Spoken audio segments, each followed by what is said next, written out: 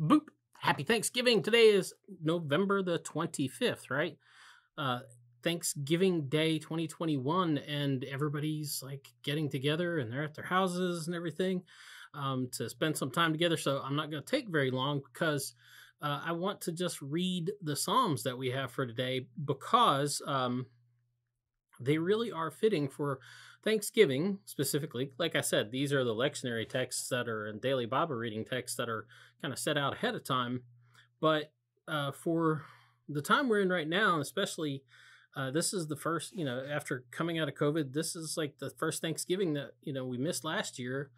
This is where people are hoping to get together, getting together, and then not getting together because stuff happens.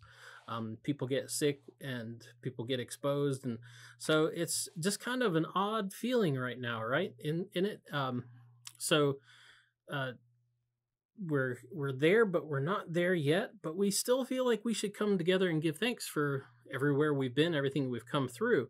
Uh, so today's daily Bible readings come to us from Joel 2 21 through 27, Psalm 126, and then 1 Timothy 2 1 through 7, and Matthew 6 25 through 33. So I'm not going to take a lot of your time today, but I'm just going to read the text from Joel and Psalm 126.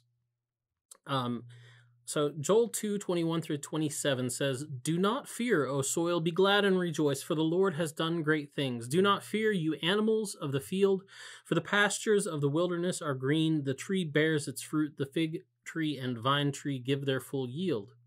O children of Zion, be glad and rejoice in the Lord your God, for he has given the early rain for your vindication. He has poured down for you abundant rain, the early and the later rain as before. The threshing floors shall be full of grain, the vats shall overflow with wine and oil. I will repay you for the years that the swarming locust has eaten, the hopper, the destroyer, and the cutter, my great army which I sent against you. You shall eat in plenty and be satisfied, and praise the name of the Lord your God, who has dealt wondrously with you, and my people shall never again be put to shame. You shall know that I am in the midst of Israel and that I, the Lord, am your God, and there is no other, and my people shall never again be put to shame. Psalm 126. When the Lord restored the fortunes of Zion, we were like those who dream. Then our mouth was filled with laughter, and our tongue with shouts of joy. And then it was said among the nations, The Lord has done great things for them. The Lord has done great things for us, and we rejoiced. Restore our fortunes, O Lord, like the watercourses in the Negeb.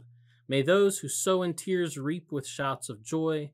Those who go out weeping, bearing the seed for sowing, shall come home with shouts of joy, carrying their sheaves. That's the DBR for today. Get out and enjoy the good things that God have, has given you. Give thanks for them. Um, and take faith and hope in the fact that He'll restore those things that have been taken away. Anyway, that's the DBR for today. Get out and have a happy Thanksgiving. Boop.